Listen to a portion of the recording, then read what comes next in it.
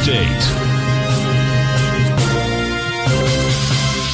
Welcome, folks. We have the Dow Industrials trading down 252, Nasdaq off 117, S&P's off 29. And yeah, you have some red there, but not like you had this morning, folks. If we take a look at the Nasdaq futures first, this is pretty phenomenal, actually. But this is the type of market that you can expect here for the next uh, two or three months. We had the futures get down to 15,152. And the bottom line is that right at this particular point, you're 320 points off of those lows. You're down 105. And what this actually did, this is pretty wild. This actually went back to the breakout area of August 23rd. That's when we had broken topside. That number there was uh, 15,104. We got to 15,152. So we'll see what kind of a bounce we can get out of this thing. What I expect you're going to see is this. We're going to finish strong. I mean, it's been strong for the last two hours. You'll get a bounce, and the real question is how far we're going to get the bounce. But this this market wants lower price. Uh, the futures want 14,003. 66. And you can actually see how fast you can get there. We were down over 5, 550, 600, 550. And uh, from where we were down to that swing low would have only been another uh, 800.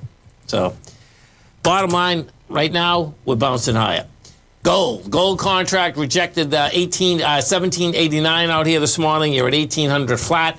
Gold wants higher price. Bottom line, you know, rejected a lower price out here Friday. You went against the strength on the, on the 17th of December. Bottom line, next leg, 1833, which is a swing high. The next one after that is 1881.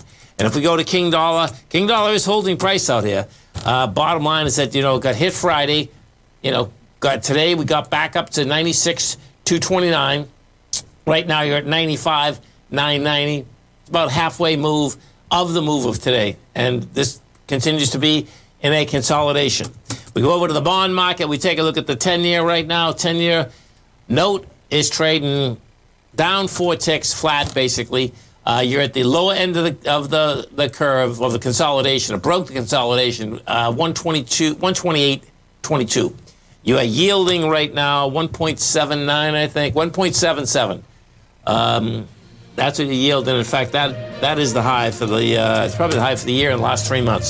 Stay right there, folks. Come right back to recap out here. We have the Dow Industrials trading down 270, Nasdaq off 122, S&P's off 32. Come right back.